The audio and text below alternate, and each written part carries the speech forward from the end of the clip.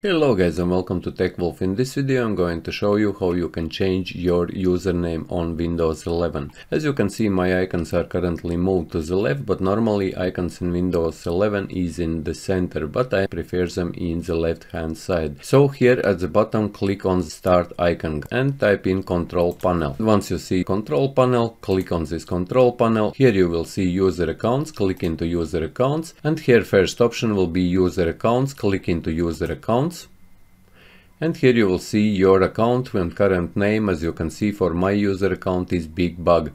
And here you can change your account name just by clicking on change your account name. And here you can give your account a new name. For example I will give it a name Bugatti, you can give it whatever name you want and click on change name. And as you can see we have changed the name. And this will be your new username which you will see whenever you will be logging in into your account. And which will be displayed when you will be logging into to your PC. So yes, hope that you found this video useful. If you did leave a like, share this video, subscribe to my channel if you are new and see you in the next one.